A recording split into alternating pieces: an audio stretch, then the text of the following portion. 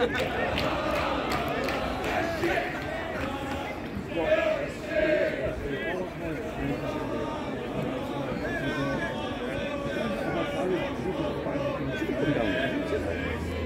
know. They set off at 12 though to go get dinner?